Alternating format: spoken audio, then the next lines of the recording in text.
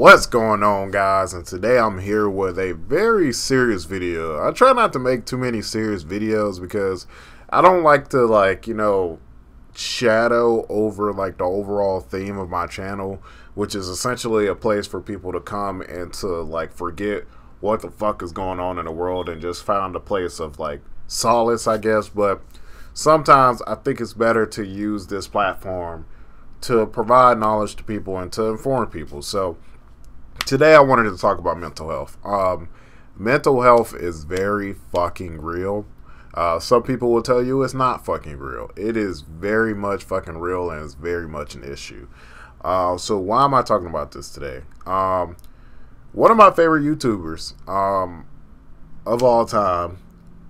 I'm not sure what he's going to going through, but it's, it's seemingly like he's having something mental happen to him. If you don't know who I'm talking about, I'm talking about Etika. Now, I'm not going to get too deep into his situation because guess what? We don't fucking know his situation. So you see a ton of people out here making videos trying to do all this other shit and make make a quick buck about this like off this motherfucker's like health, which is bullshit to me. You can suck a dick if you're doing it. Um, I'm not gonna speak on any man's, woman's, any person's situation. I am not I am not in ties with. If I do not personally know you, who the fuck am I to talk about your situation? Who the fuck am I to act like I know you? So that's not the way we're going to go with this video, and that's not what we're going to do. I'm using him as an example to branch into the overall theme of this video, which is mental health. Um, so, um, man, especially when it comes to YouTube, man, I, I just feel like YouTubers have like this certain standard, like this level that they want to meet and they feel like they have to meet. Like when you when you get a certain amount of subs. Now on this channel, I only have like six thousand subs, but on my other channel, I have hundred and twenty thousand subs. So, um, it gets to a point where you're like, wow, there's so many people watching me. How could I possibly let any of these people down? and you become a fucking work workers workhorse. Shit, I can't speak English. You essentially become a workhorse, and you're constantly like you're constantly up. You're constantly working on videos. You're constantly trying to find shit to entertain these people who give a fuck about you, and in turn, you forget to take care of your fucking self because you're spending so much time trying to cater to others. And man, um, the shit fucking sucks. And a lot of people don't see that side of YouTubers because a lot of YouTubers hide that shit very well. YouTubers will not talk about how they feel. You won't see that. You just get like you just get a video and then the first thing you comment is shit, I can't wait for the next video, which is good. Like people want you to fucking like content creators want you to want more videos obviously, but at the same time you like shit, nigga, I just worked hard as fuck on this video.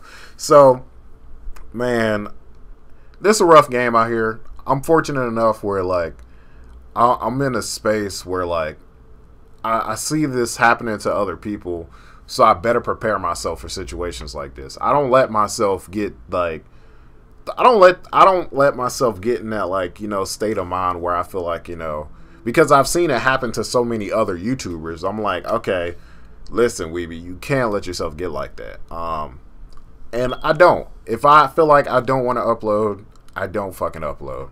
If I feel like this is doing something bad to me, then I'll quit YouTube. Um, that's just the way I'm built to think. Um, as savage as it is or not, if I feel like this shit is like impacting my health, I will most certainly take a break, and I'll let people know I'm taking a break. But it, it's the it's the thing where you got to realize like, hey, I need to fucking step back. And sometimes you just need to like shut off your phone for a day. You need to get away from social media.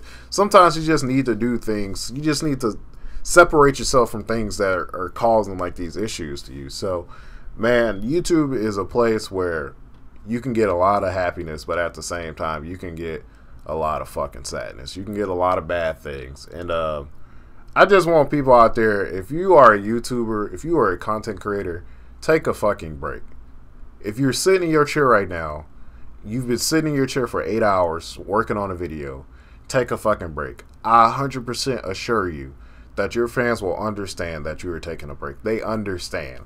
A lot of YouTubers have this mindset where oh, I have to make a video, I have to do this.